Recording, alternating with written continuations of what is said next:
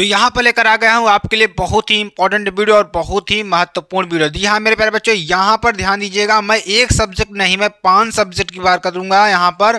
Hindi English physics chemistry और biology जो बच्चे हमारे साथ अभी जुड़ना चाहते हैं, वो जुड़ जाएँ, क्योंकि अभी आपके लिए बहुत ही इंपॉर्टेंट वीडियो आ गई है, ठीक है ना? तो आप सभी को क्या करना है यहाँ पर? वीडियो को ज़्यादा से ज़्यादा शेयर करना लाइक कमेंट सब्सक्राइब ज़रूर कर देना है, साथ ही साथ बेल आइकन को ज़रूर दबा लेना है, ठीक है ना? यहाँ पर आपके लिए वन शॉट वीडियो होने वाली है और हंड्रेड परसेंट गारंटी है कि यहाँ से जो मैं टॉपिक बताऊँगा ना, यहाँ से आपके प्रश्न ज़रूर बनने वाले हैं। ठीक है ना?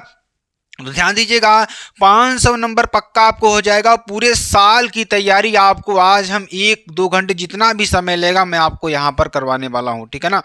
और यह वीडियो आपको छोड़कर कहीं जाना नहीं है, क्योंकि इस वीडियो में मैंने आपको बताया है कि यहाँ पर कौन कौन से प्रश्न आने वाले हैं और कौन से टॉपिक के कितने प्रश्न आएँगे और कौन से प्रश्न इंपॉर्टेंट हैं, वो सारी हम यहाँ पर चर्चा करने वाले हैं। ठीक है ना? तो सभी लोग क्या करेंगे? वीडियो को ज़रूर शेयर कर देंगे। देखिए, ध्यान दीजिएगा, यहाँ पर आपको इंपॉर्टेंट क्वेश्चन मिलेंगे। ऑल सब्जेक्ट के और 2024 में सब आपको फोड़ कराना है, सारे क्वेश्चन को कर कराना है। कोई ऐसा क्वेश्चन आपको छोड़ना नहीं है, ठीक है ना? और आपको ऐसी वीडियो आपको कहीं मिलने वाली नहीं है। पूरे किताब का निचोड़ दे दूँगा मैं। ये किताब का नहीं, यहाँ पर मैं आपको हिंदी, इंग्लिश, फिजिक्स, केमिस्ट्री और बायोलॉजी सभी सब्जेक्ट का यहाँ पे मैं आपको निचोड़ देने वाला हूँ। ठीक है ना? तो चलिए मेरे प्यारे बच्चों, बिना समय गंवाए हुए मैं आपको स्टार्ट करता हूँ और आपको बताने का प्रयास करता हूँ। अगर आप चाहते हैं कि हिंदी में मैं सौ में से सौ नंबर लाऊं तो यह वीडियो सिर्फ़ आपके लिए है। यहाँ पे अच्छी तरीके से आपको समझना होगा और अच्छी तरीके से रुकना भी होगा, ठीक है ना? तैयारी 2024 की यहाँ पर मैं आपको करवा रहा हूँ और सब धुआँ धुआँ कर दूँगा। यहाँ पर आज को सबको आपको यहाँ पर सारे प्रश्नों को बताकर ही जाने वाला हूँ, ठीक है ना?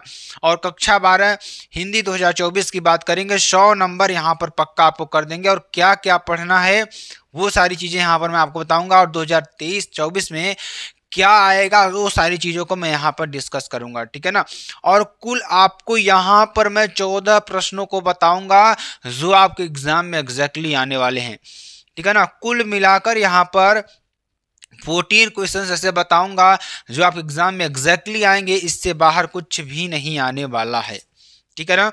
तो महत्वपूर्ण गद्यांश की बात करेंगे। महत्वपूर्ण गद्यांश में ध्यान दीजिएगा। पहला, देखिए आपको अगर हम यहाँ पर देखें, प्रश्नों की बात पहले कर लेते हैं, ध्यान दीजिएगा। तो प्रश्नों के प्रश्न नंबर एक और दो में ध्यान दीजिएगा। यहाँ पर हिंदी साहित्य के बहुविकल्पी प्रश्न आएँगे। कहने का मतलब यहाँ पर अगर आपको मैं बता दूँ तो यहाँ पर ध्यान दीजिएगा अगर हिंदी साहित्य की बहुविकल्पी प्रश्न की बात करें तो यहाँ से आपको कुल मिलाकर दस नंबर मिलने वाला है, और दस नंबर कहाँ से मिलेंगे मेरे प्यारे बच्चा लोग? वो दस नंबर आपको मिलने वाले हैं। पाँच प्रश्न आपको हिंदी गद्य साहित्य के विकास से, और पाँच प्रश्न आपको हिंदी पद्य साहित्य के बहुविकल्पी प्रश्न मिलने वाले हैं। ठीक है ना? तो ये आपके लिए वेरी वेरी मोस्ट इंपॉर्टेंट है। चलिए, अगला देखिए, प्रश्न नंबर तीन की बात करेंगे। हिंदी गद्यांश पर आधारित प्रश्नों की बात करेंगे। हिंदी गद्यांश पर आधारित प्रश्नों की बात करेंगे और हाँ ध्यान दीजिएगा, जो प्रश्न मैं आज आपको बता रहा हूँ जो चीज़ बता रहा हूँ, उसको आप लोग एक नोट्स बना करके लिखते चलिएगा। ये आपके लिए टाइम बहुत ही इंपॉर्टेंट है। ठीक है ना? जो भी टाइम यहाँ पर आज आप देंगे ना, वो आपके लिए क्वांटिटिव टाइम होगा और एक बेनिफिशियल टाइम होगा, ठीक है ना? इसलिए मैं आपसे कर रहा हूँ कि यहाँ पर आपको लास्ट तक ज़रूर रुके रहना है, ठीक है ना? तो ध्यान दीजिएगा, महत्वपूर्ण गद्यांश की बात करेंगे। महत्वपूर्ण गद्यांश में देखिए, राष्ट्र का स्वरूप ठीक है ना? राष्ट्र का स्वरूप, पहला आपका चैप्टर राष्ट्र का स्वरूप वासुदेव शरण अग्रवाल द्वारा लिखा गया है। तो इनके चैप्टर्स में जितने भी गद्यांश हैं, उनको तैयार कर लीजिए। यहाँ से आपके प्रश्न ज़रूर बनने वाले हैं, ठीक है ना? उसके बाद अगला चैप्टर हमारा है अशोक के फूल। ठीक है ना? अशोक के फूल, जो कि किसने लिखा है? हजारी प्रसाद द्विवेदी जी ने लिखा है, जो कि आपके लिए बेहद इंपॉर्टेंट और बेहद ही महत्वपूर्ण है।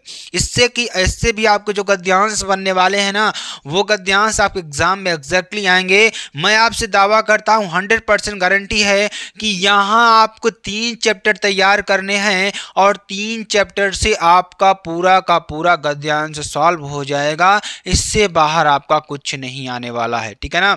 यहाँ पर ध्यान दीजिएगा, भाषा और आधुनिकता की बात करेंगे, प्रोफेसर जी सुंदर रेड्डी जी ने लिखा है, जो कि आपके लिए बेहद इंपॉर्टेंट और बेहद ही महत्वपूर्ण है।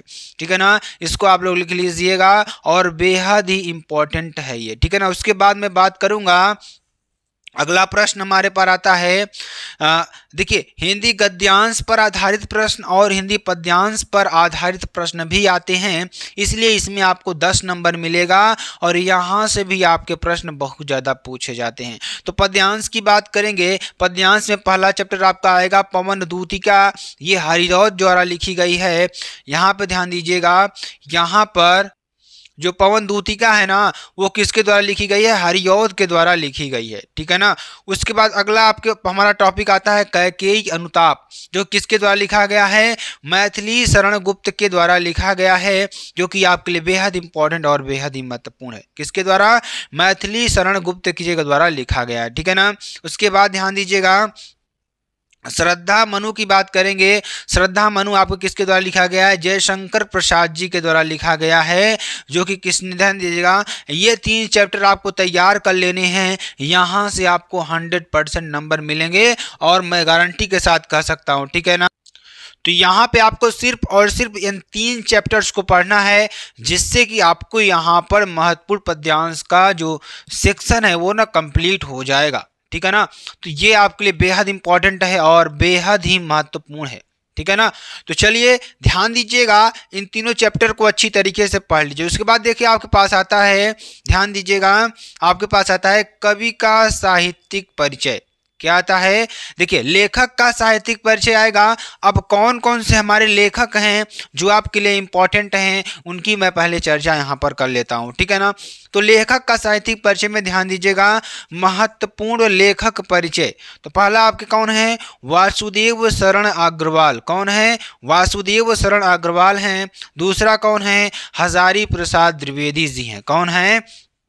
हजारी प्रसाद द्विवेदी जी हैं, जो कि आपके लिए बेहद इंपॉर्टेंट और बेहद ही महत्वपूर्ण है। ठीक है ना? तो ये आपके लिए हो जाएगा, जो कि आपके लिए बेहद इंपॉर्टेंट और बेहद ही महत्वपूर्ण है, ठीक है ना? तो इन दोनों लोगों को आपको याद कर लेना है और हंड्रेड परसेंट है कि एग्ज़ाम में इन दोनों को पूछा ज़रूर जाएगा तो ये आपके लिए बेहद इंपॉर्टेंट और बेहद ही महत्वपूर्ण है, ठीक है ना? तो चलिए, ध्यान दीजिए, अगला देखिए, महत्वपूर्ण कवि परिचय की बात करेंगे। महत्वपूर्ण कवि परिचय में आपके ध्यान दीजिएगा, कवि का साहित्यिक परिचय आपसे पूछता है तो आपको बताना है कि कवि का साहित्यिक परिचय क्या होगा।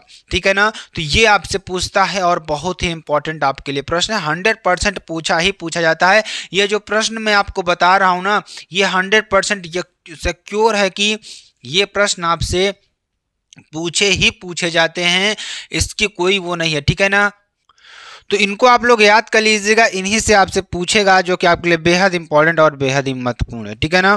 आगे हम बात करेंगे, अब ध्यान दीजिएगा, महत्वपूर्ण लेखक परिचय की बात करेंगे। महत्वपूर्ण लेखक परिचय में अगर आपको बताएँ तो ध्यान दीजिएगा, महत्वपूर्ण लेखक परिचय में आपके कौन आएँगे? वासुदेव शरण अग्रवाल आएँगे। और हजारी प्रसाद द्विवेदी जी आएँगे। कौन आएँगे? हजारी प्रसाद द्विवेदी जी आएँगे, जो कि आपके लिए बेहद इंपॉर्टेंट और बेहद ही महत्वपूर्ण है, ठीक है ना?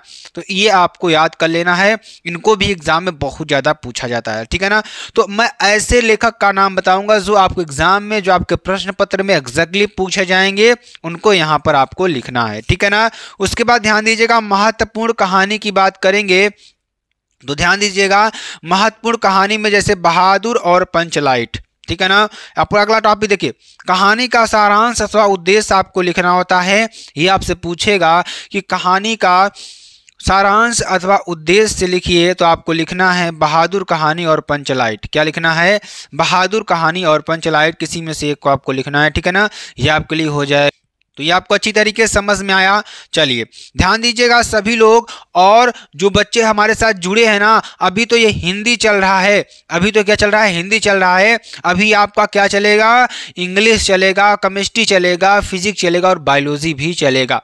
ठीक है ना? सभी सब्जेक्टों को मैं इंपॉर्टेंट क्वेश्चन यहाँ पर आपको बताकर ही जाऊँगा और ये लिख लीजिए। लिख लीजिए, क्योंकि एग्ज़ाम टाइम आपका आ चुका है, अब ज़्यादा समय बचा नहीं हुआ है तो आपको बस इन प्रश्नों को लिख कर ही अच्छी तरीके से चलना है और याद कर लेना है इनको, ठीक है ना? इनको याद कर लेना है आपको, ठीक है ना? याद करते हुए पूरा प्रश्नों को तैयार कर लेना है। क्या कर लेना है? सभी प्रश्नों को क्या कर लेना है? तैयार कर लेना है, ठीक है ना? चलिए। अगला हमारे पास आता है टॉपिक क्या आता है? ध्यान दीजिएगा। Very very most important topic आपके लिए है और बहुत बार ये तो हंड्रेड परसेंट ही पूछा ही पूछा जाता है। आप देखिएगा एग्ज़ाम में, ठीक है ना? अपने ज़िले का खंड काव्य। ध्यान दीजिएगा, आप ज़िले के आधार पर आपसे खंड काव्य पूछेगा। श्रवण कुमार, रश्मि रथी, मुक्ति यज्ञ, त्यागपथी, अशोक के फूल।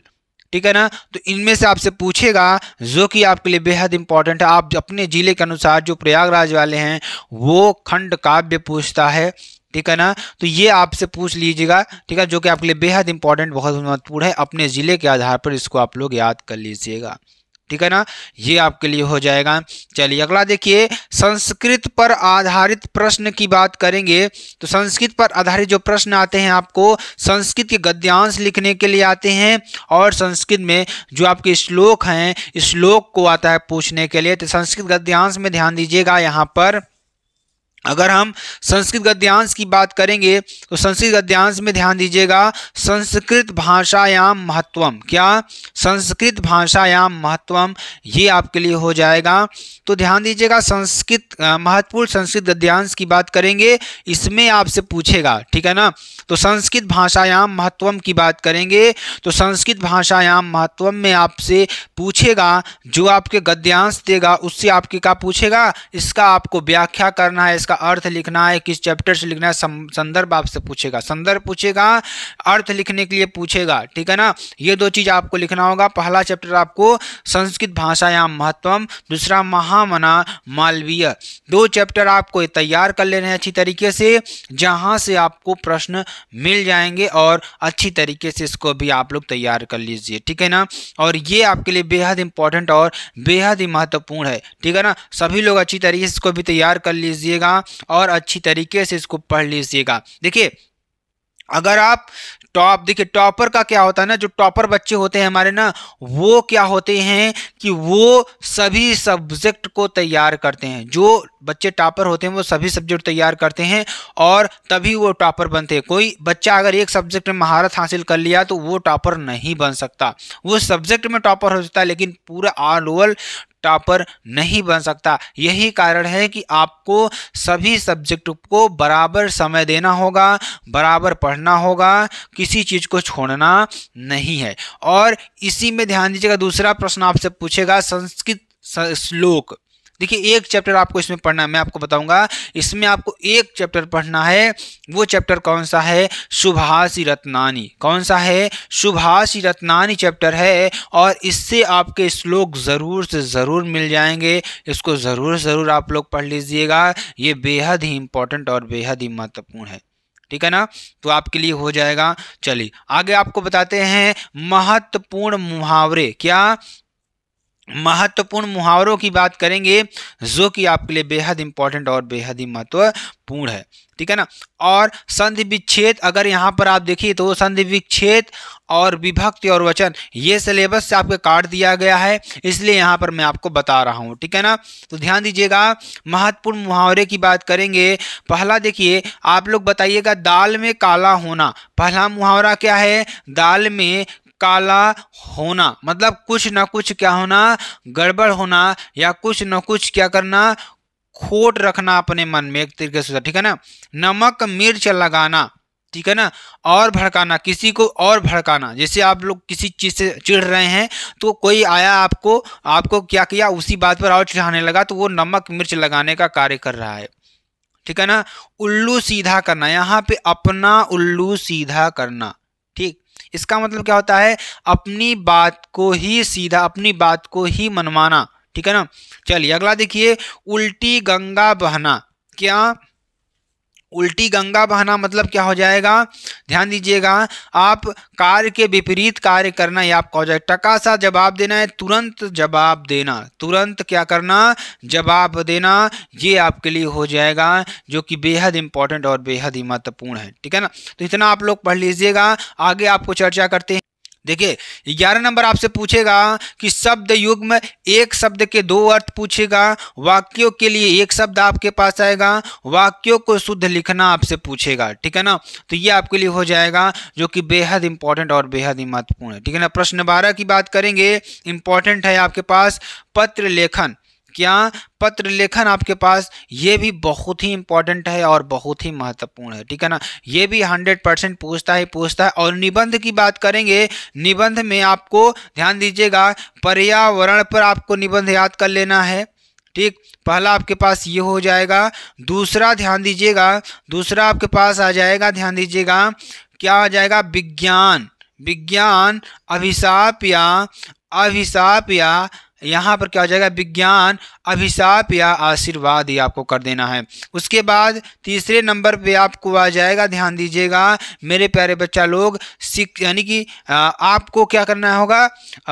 भारतीय संस्कृति के बारे में लिख देना होगा। भारतीय भारतीय संस्कृति के पूछता है, बहुत ज़्यादा पूछता है। ठीक है ना? इसको आपको लिख लेना है। इनमें से आपका प्रश्न फंस जाएगा और मैं दावा करता हूँ कि आपको इनको अच्छी तरीके से तैयार कर लेंगे तो आपको कोई नहीं फेल कर सकता है। ठीक है ना? तो इनको अच्छी तरीके से तैयार कर लीजिएगा। चलिए, आगे आपको बताते हैं। अगला देखिए, क्या है आपके पास? रस, छंद, अलंकार। क्या है? रस, छंद, अलंकार, ये आपके लिए हो जाएगा, जो कि आपके लिए बेहद इंपॉर्टेंट और बेहद ही महत्वपूर्ण है। ठीक है ना? तो रस, छंद, अलंकार की बात करेंगे, ये आपके लिए हो जाएगा, ठीक है ना? तो रस में भी आपको करुण रस, ठीक है ना, याद कर लेना है और वीर रस याद कर लेना है, यहाँ पे आपको आ जाएगा, ठीक है ना? पहला क्या याद करना है आपको? करुण रस बहुत ज़्यादा पूछता है, ठीक है ना? करुण रस। दूसरा क्या हो जाएगा? ध्यान दीजिएगा, दूसरा आपसे पूछेगा, क्या ध्यान दीजिएगा हास्य रस भी पूछता है आपसे क्या पूछता है? हास्य रस। ठीक, ये आपसे दो याद कर लीजिएगा। छंद की बात करेंगे तो रोला याद कर लीजिएगा। रोला, आपको दोहा याद कर लेना है। ठीक है ना? दो इसको आपको याद कर लेना है। पहला ये आपका हो जाएगा, दूसरा आपका ये हो जाएगा। अलंकार की बात करेंगे तो पहला अलंकार आपके पास क्या आ जाएगा? उत्प्रेक्षा अलंकार। क्या हो जाएगा? उत्प्रेक्षा अलंकार। ठीक है ना, ये आपके पास हो जाएगा। और दूसरा क्या हो जाएगा? उपमा अलंकार। क्या हो जाएगा? उपमा अलंकार। ठीक है ना? ये आपके लिए हो जाएगा, जो कि आपके लिए बेहद इंपॉर्टेंट और बेहद ही महत्वपूर्ण है। ठीक है ना? चलिए, अब देखिए आपका हिंदी का पूरा का पूरा सिलेबस मैंने कंप्लीट करा दिया, और जो बच्चे अभी तक रुके हुए हैं ना, उनका मैं बहुत बहुत धन्यवाद देता हूँ। और ध्यान दीजिएगा, वो वो ध्यान दीजिएगा, ये आप लोग अपनी कॉपी में लिख लीजिएगा, इससे बाहर आपका कुछ नहीं आने वाला है। यहाँ पर आपको एग्जैक्ट मैं बता रहा हूँ एनालिसिस करके कि आपको यहीं से ही प्रश्न मिलने वाले हैं, ठीक है ना? चलिए, ध्यान दीजिएगा, आगे मैं बात करता हूँ, आगे जो आपके लिए बेहद इंपॉर्टेंट टॉपिक से है। अभी मैं हिंदी का बताया, हिंदी के बाद अगला सब्जेक्ट मैं आपको बताता हूँ। देखिए, अगला सब्जेक्ट आपके पास आता है इंग्लिश अगर आप चाहते हैं कि इंग्लिश में अब की बार मैं 95 परसेंट लाऊँ 85 परसेंट लाऊँ या 100 परसेंट लाऊँ तो ये आप सही वीडियो पर आए हुए हैं और यहाँ से मैं आपको हिंदी का बताया। हिंदी के बाद मैं आपको इंग्लिश का बताऊँगा कि इंग्लिश में आपके कौन से ऐसे चैप्टर्स हैं जो इम्पोर्टेंट हैं, कौन से ऐसे प्रश्न हैं जो इम्पोर्टेंट हैं और कौन से टॉपिक ऐसे हैं जो आपके बहुत ज़्यादा पूछे जाते हैं, ठीक है ना? अब की बार 95 पार मैं आपको करवा दूँगा। ये मेरा वादा है 2024 में। अगर जो बच्चे हमारे साथ यहाँ पर जुड़े हुए हैं ना, वो इन टॉपिक्स को लिख लीजिएगा। और देखिएगा कि आपको 100 परसेंट नंबर ज़रूर मिलेगा। कक्षा 12 इंग्लिश 2024 की बात करेंगे 100 नंबर पक्का कर देंगे और बस इतना आपको पढ़ना है 100 परसेंट गारंटी है, सब धुआँ धुआँ कर दूँगा, ठीक है ना? टोटल आपको 12 क्वेश्चन पूछे जाएँगे। कितने? टोटल आपके 12 क्वेश्चन पूछे जाएँगे। अब देखिए वो 12 क्वेश्चन कौन है, वो आपको मैं बताऊँगा और अच्छी तरीके से मैं आपको समझाने वाला हूँ, ठीक है ना? सेक्शन ए की बात करेंगे, रीडिंग की बात करें, क्या बात करेंगे? सेक्शन ए रीडिंग की बात करेंगे, जो कि आपके लिए बेहद इंपॉर्टेंट और बेहद ही महत्वपूर्ण है। ठीक है ना?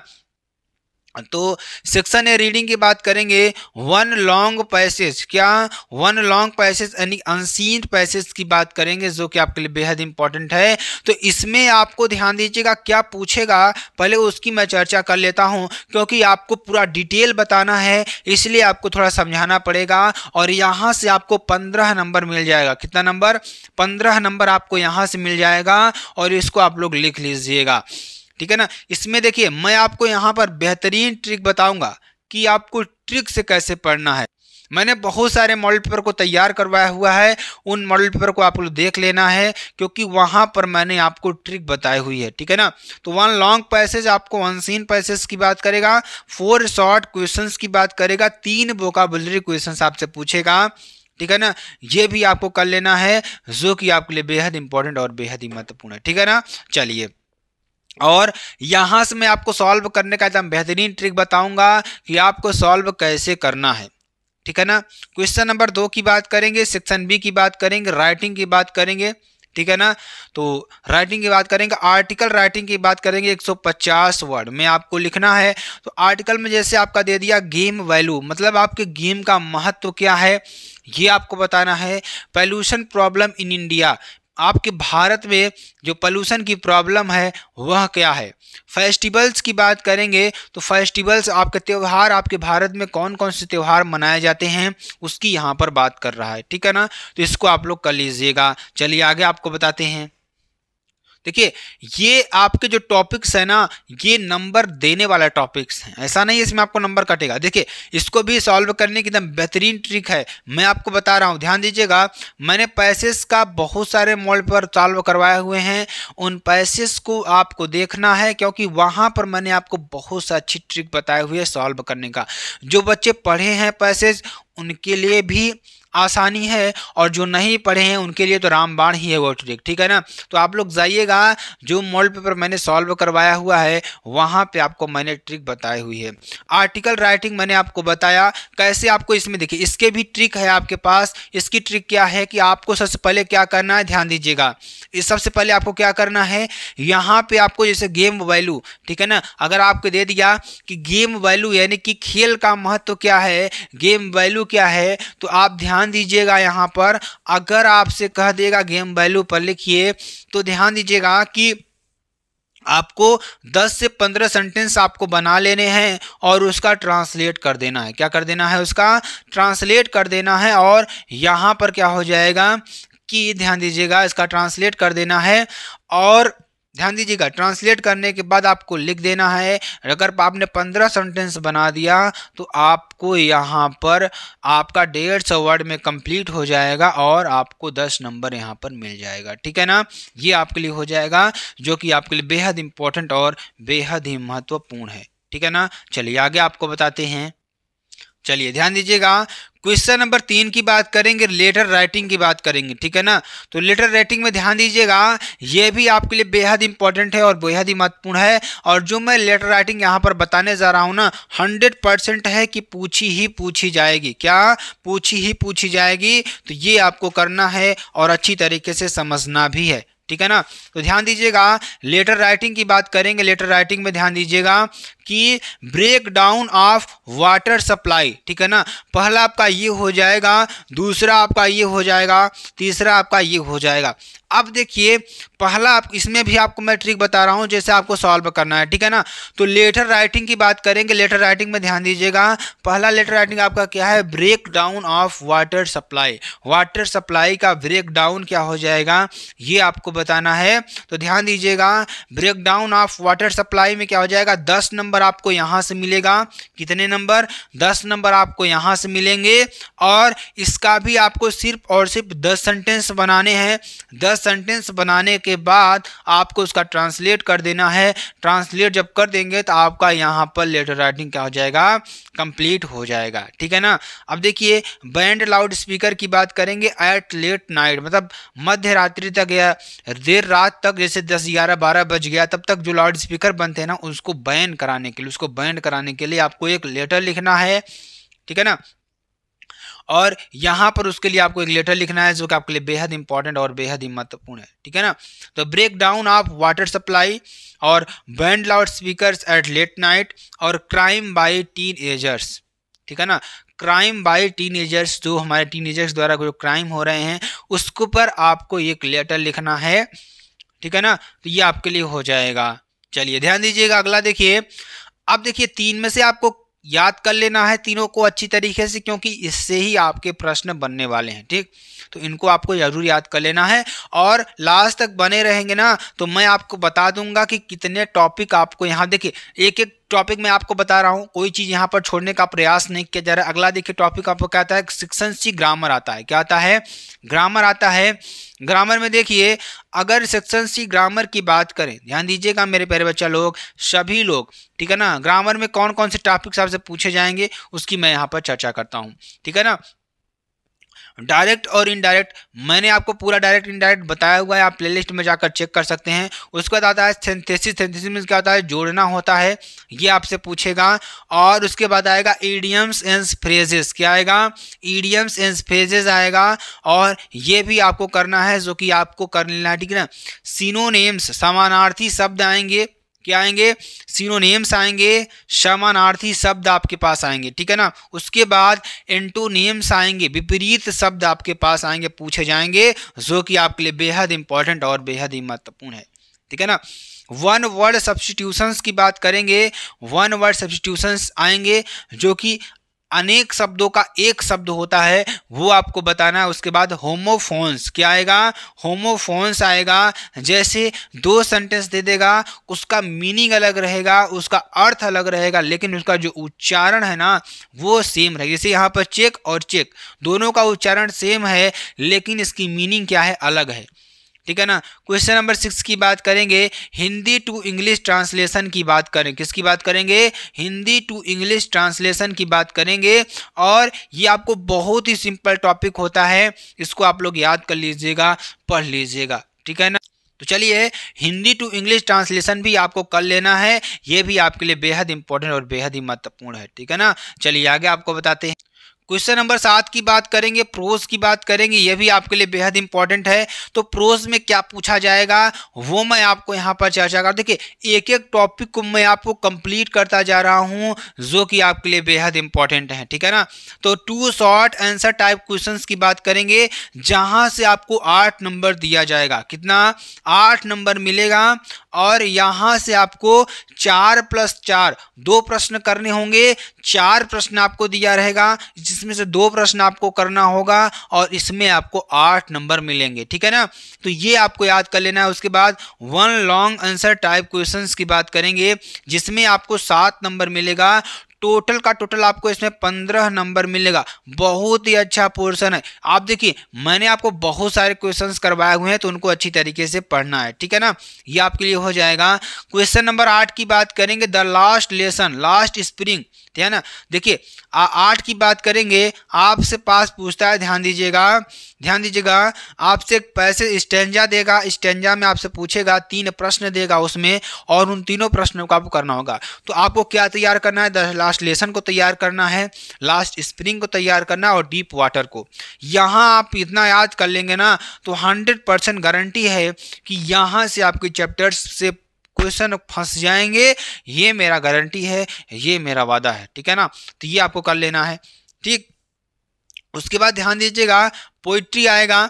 पोइट्री देखिए, ये आपका प्रोज के चैप्टर सॉरी आपके प्रोज के चैप्टर है। प्रोज में आपको कौन कौन से तैयार करना है? The lost lesson lost spring और डीप वाटर तीन चैप्टर आपको याद कर लेने हैं और यहाँ से आपको जो क्वेश्चंस आएँगे, वो आपको पढ़ लेना। पोइट्री की बात करेंगे स्टेंजा में आपका ध्यान दीजिएगा। स्टेंजा आपसे पूछेगा और ये स्टेंजा आपके लिए बेहद इंपॉर्टेंट है। छः नंबर आपको मिलेगा यहाँ से।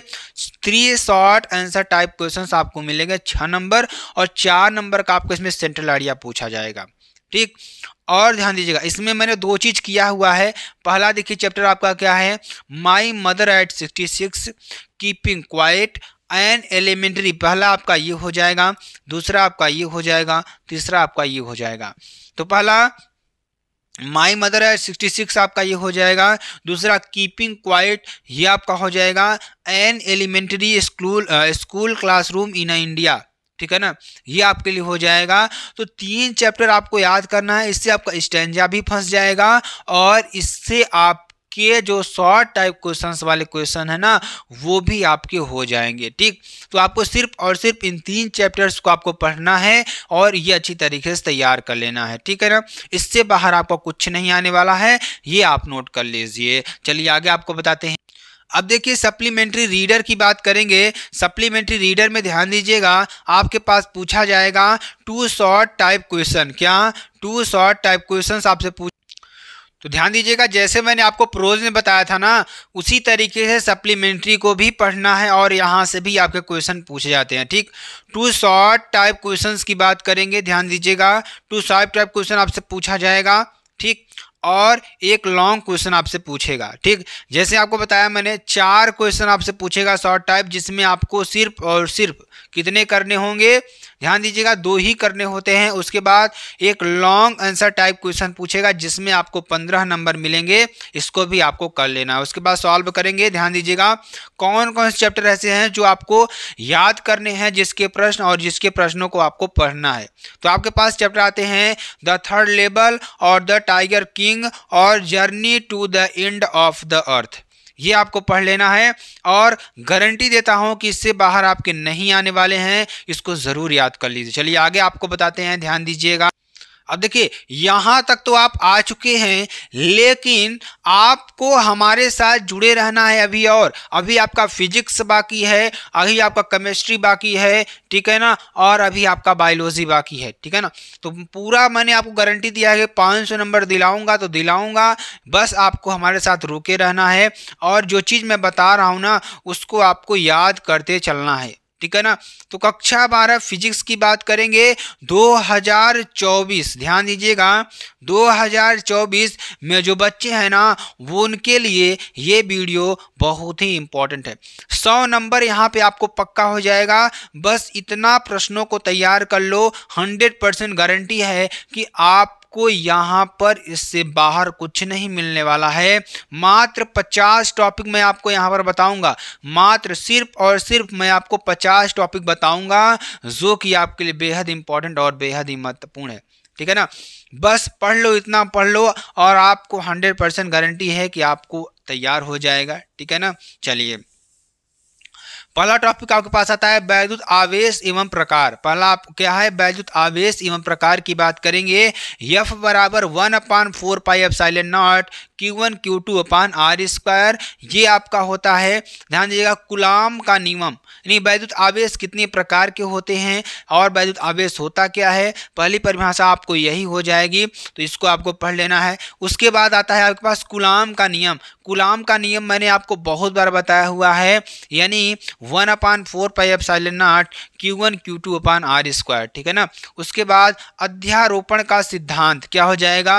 अध्यारोपण का सिद्धांत यह भी आपसे पूछता है और बहुत बार पूछा गया है, ठीक है ना? उसके बाद आता है आपका वानडे ग्राफ जनित्र क्या आता है? वनडे ग्राफ जनित्र भी आता है। यह भी आपको कर देना है, जो कि आपके लिए बेहद इंपॉर्टेंट और बेहद ही महत्वपूर्ण है। और यह भी आपके पास बहुत बार पूछा गया, ठीक है ना? वैद्युत क्षेत्र रेखाएँ की बात करेंगे, वैद्युत क्षेत्र रेखाएँ भी आपसे पूछेगा, इसको भी आपको कर लेना है, जो कि आपके लिए बेहद इंपॉर्टेंट है, ठीक है ना? वैद्युत क्षेत्र की तीव्रता की बात करेंगे, वैद्युत क्षेत्र की तीव्रता क्या होती है, इसको कैसे आपको सॉल्व करना है, ये भी आपको कर देना है। वैद्युत क्षेत्र की तीव्रता संबंधी व्यंजक आपको लिखना है, क्या लिखना है? वैद्युत क्षेत्र की तीव्रता संबंधी व्यंजक आपको लिखना है, ये भी आपको कर देना है। वैद्युत दुध्रु आघूर्ण, क्या? वैद्युत दुध्रु आघूर्ण आपको कर देना है। ये भी आपके लिए बेहद इंपॉर्टेंट और बेहद ही महत्वपूर्ण है, ठीक है ना? तो ये आपको कर देना है, जो कि आपके लिए बेहद इंपॉर्टेंट और बेहद ही महत्वपूर्ण है, ठीक है ना? तो इतने टॉपिक आपको करने हैं और कोई दिक्कत वाली बात नहीं है। आपको जो टॉपिक मैं बता रहा हूँ ना, उसको सिर्फ़ और सिर्फ़ ढूंढ करके क्या करना होगा? पढ़ना होगा और अच्छी तरीके से तैयार करना होगा। आप देखिएगा कि आपके सारे टॉपिक और सारे डाउट भी आपके क्लियर हो जाएँगे, ठीक है ना? विभव मापी के सिद्धांत की बात करेंगे विभव मापी का सिद्धांत क्या होता है, ये आपको कर देना है, ठीक है ना? और ये भी प्रश्न मैंने आपको करवा रखा है, ओम का नियम क्या होता है? ओम का नियम भी आपको बताना है, ठीक है ना? किरचाफ का नियम क्या होता है? किरचाफ के नियम को भी आपको बताना है, ठीक है ना? और चुंबकीय क्षेत्र की संकल्पना, क्या? चुंबकीय क्षेत्र की संकल्पना आपको बतानी है कि चुंबकीय क्षेत्र का संकल्पना क्या होती है, ये आपको करना है। उसके बाद बायोशेवर्ड का नियम। क्या बायोसेवर्ड का नियम? यानी क्या होता है? Mu zero upon four pi I delta L sine theta upon R square, ये आपका होता है बायोसेवर्ड का नियम। ठीक है ना? उसका अगला आता है एम्पियर का परि, एम्पियर का नियम एवं अनुप्रयोग की बात करेंगे, ये भी आपको कर देना है, जो कि आपके लिए बेहद इंपॉर्टेंट और बेहद ही महत्वपूर्ण है। ठीक है ना? चल कुंडली गैल्वेनोमीटर की बात करेंगे तो चल कुंडली गैल्वेनोमीटर क्या होता है, ये भी आपको अच्छी तरीके से पढ़ना है कि चल कुंडली गैल्वेनोमीटर क्या होता है, ठीक है ना? उसके बाद चुंबकीय क्षेत्र रेखाओं की बात करेंगे, चुंबकीय क्षेत्र रेखाएँ क्या होती हैं, ये आपको करना है, लेंज का नियम। ठीक, लेंज का नियम क्या होता है? ये भी आपको कर लेना है, जो कि आपके लिए बेहद इंपॉर्टेंट है। क्योंकि ऐसे प्रश्न मैं आपको आपको बता रहा हूँ ना, जो कि हंड्रेड परसेंट है कि पूछे ही पूछे जाते हैं। इससे बाहर आपका आएगा ही नहीं आएगा, ठीक है ना? तो ये आपके लिए हो जाएगा। उसके बाद आता है सबसे महत्वपूर्ण टॉपिक ट्रांसफार्मर हंड्रेड परसेंट पूछा जाता है और बहुत बार पूछा भी गया है, ठीक है ना? स्व प्रेरण एवं अन्योन्य प्रेरण आपसे पूछेगा। क्या पूछेगा? स्व प्रेरण एवं अन्योन्य अन्योन्य प्रेरणा आपसे पूछेगा, ये भी आपको कर देना है, जो कि आपके लिए बेहद इंपॉर्टेंट है। उसके बाद निरक्षी तथा अक्षी स्थिति में ठीक है ना? ये आपके लिए हो जाएगा। उसके बाद वैद्युत विभव तथा वैद्युत विभवांतर। ये भी हंड्रेड परसेंट पूछा जाता है। ये भी टॉपिक आपको याद कर लेना है। वैद्युत द्विध्रुव की अच्छी स्थिति में या किसी बिंदु पर वैद्युत विभव का सूत्र भी आपसे पूछता है। इसको भी आपको लिख लेना है। सम विभव पृष्ठ क्या होता है? ध्यान दीजिएगा। सम विभव पृष्ठ का मतलब क्या होता है कि ऐसा पृष्ठ जहाँ पर उसके जो वोल्टेज का जो विभव है ना, सभी जगह क्या हो? समान हो। उसे हम क्या कहेंगे? सम विभव पृष्ठ कहेंगे। वैद्युत ऊर्जा और शक्ति की बात करेंगे तो वैद्युत ऊर्जा और शक्ति क्या होती है? ये आपको करना है। सेल का वैद्युत वाहक बल क्या? सेल का वैद्युत वाहक बल क्या होता है? ईएमएफ क्या होता है? ये आपको बताना है, जो कि आपके लिए बेहद इंपॉर्टेंट और बेहद ही महत्वपूर्ण है। ठीक है ना? अगला देखिए वीट स्टोन सेतु क्या होता है? वीट स्टोन सेतु क्या होता है? पी बाई क्यू बराबर आर बाई एस जो कि हंड्रेड परसेंट आपसे पूछा जाएगा, जो कि आपके लिए बेहद इंपॉर्टेंट और बेहद ही महत्वपूर्ण है। मीटर सेतु की बात करेंगे, मीटर सेतु आपसे पूछा जाएगा, मीटर सेतु क्या होता है? वैद्युत चुंबकीय क्षेत्र की अनुप्रस्थ प्रकृति क्या होती है? ये आपको बताना है कि वैद्युत चुंबकीय क्षेत्र की जो अनुप्रस्थ प्रकृति होती है, वह क्या होती है? ये आपको बताना है। वैद्युत क्षेत्र स्पेक्ट्रम की बात करेंगे, वैद्युत क्षेत्र स्पेक्ट्रम क्या होता है? ये आपको बताना है। प्रकाश का अपवर्तन क्या होता है? प्रकाश का अपवर्तन एक परावर्तन होता है, एक अपवर्तन होता है। जब प्रकाश एक माध्यम से दूसरे माध्यम में जाती है तो उसे हम प्रकाश का अपवर्तन कहते हैं। जब प्रकाश एक माध्यम से टकरा करके उसी माध्यम में पुनः वापस लौट जाती है, उसे प्रकाश का परावर्तन कहते हैं। ठीक है ना? उसके बाद प्रतिबिंब का बनना एवं समंजन क्षमता की बात करेंगे, ये भी आपसे पूछा जाता है, फ्रिंज की चौड़ाई का व्यंजक, क्या फ्रिंज की चौड़ाई का व्यंजक आपसे पूछेगा, जो कि आपके लिए बेहद इंपॉर्टेंट है। हाइगेंस का सिद्धांत, क्या हाइगेंस का सिद्धांत क्या होता है यह भी आपको कर लेना है, ठीक है ना? व्यतिकरण एवं शर्तें की बात करेंगे। व्यतिकरण एवं शर्तें क्या होती हैं, ये आपको करना है। सूक्ष्मदर्शी तथा दूरदर्शी आपको पढ़ना है यह भी बहुत बार एग्ज़ाम में पूछा गया है। विकिरणों की तरह दैर्द प्रकृति के बारे में पूछता है यह भी आपको कर देना है। हर्ष तथा लेनार्ड परीक्षण की बात करेंगे, इसको भी आपको कर देना है। परमाणु का रदर मॉडल, क्या? परमाणु का रदर मॉडल भी आपसे पूछता है, इसको भी आप कर देना है। है नाविकी विघटन एवं संलयन की बात करेंगे, ये भी आपको कर लेना है। कुचालक तथा अर्धचालक की बात करेंगे, ये आपको कर देना। कुचालक क्या होता है? जिसमें बिल्कुल हम धारा का प्रवाह न कर सकें, उसे हम कुचालक कहते हैं। और अर्धचालक की बात करेंगे, जो आपके इम्प्योरिटी मिला करके ठीक है ना? अर्धचालक होते हैं सेमी कंडक्टर जिसे कहते हैं, ठीक है ना? जिसमें अगर हम धारा का प्रवाह चालकों से कम और कुचालकों से अधिक कर सकें, उसे हम अर्धचालक कहते हैं, ठीक है ना? उसके बाद आइंस्टीन का प्रकाश वैद्युत समीकरण, क्या होता है? आइंस्टीन का प्रकाश वैद्युत समीकरण, ये आपको कर देना है। द्विब्रोगली संबंध क्या है? ये आपको पढ़ना है। अर्धचालक डायोड क्या होते हैं? ये आपको पढ़ना है, ठीक है ना? अगला टॉपिक हमारे पास आता है फ़ोटो डायोड और सौर सेल क्या आता है? फ़ोटो डायोड और सौर सेल ठीक है ना? तो ये टॉपिक आपको पढ़ना है। और ये देखिए फिजिक्स के पूरे टॉपिक थे मेरे प्यारे बच्चा लोग, और जो आपके एग्ज़ाम के लिए बेहद इंपॉर्टेंट और बेहद ही महत्वपूर्ण है, ठीक है ना?